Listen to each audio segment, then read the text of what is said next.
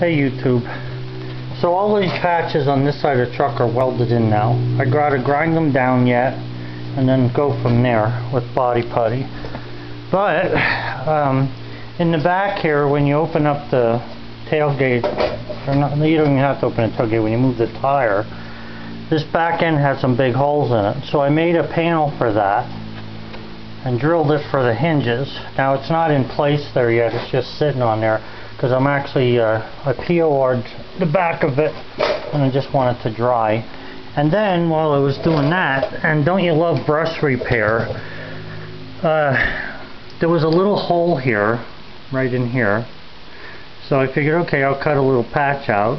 Next thing you know, it led one thing led to the other. And here, somebody had already been in here. You can see that this is weld here. Okay, this edge. I painted it with POR 15 in there. I'm not going in there because this is not what was told, uh, what was asked of me to do, just the body outside. But I still have to have something here that's going to be decent. So this is a, uh, uh, actually one of the cab mounts for the body. Right here you can see the rubber bushing.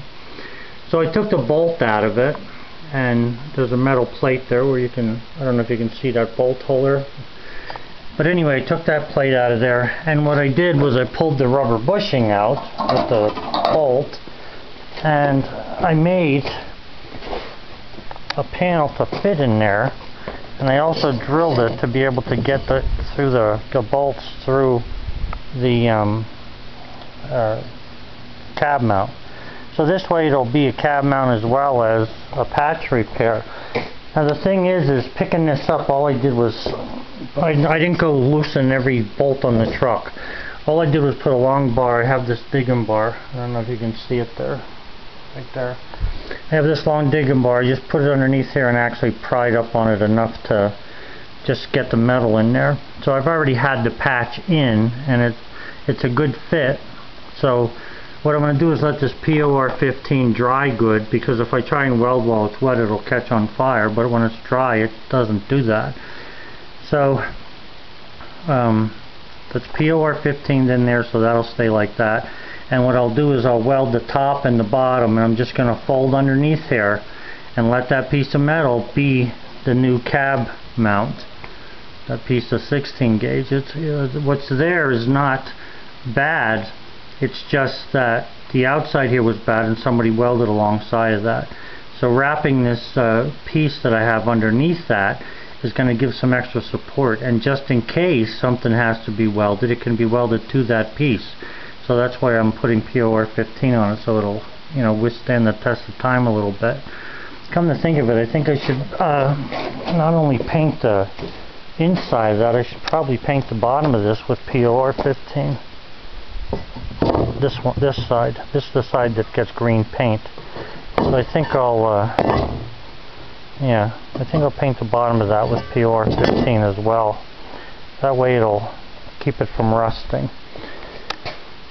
So, it's always one thing after the other. I have to laugh, you know, um, people ask me, and it's not just one particular person. Everybody wants to know how much is it going to cost to fix the rusty hole. Well, you never know how big that rusty hole is. Like for instance over here I started to do a little grinding well there's a hole here, there's a hole here, there's a hole here, there's a hole there and these three holes really didn't show up before. This one did. So, uh, you know, you can't answer those questions.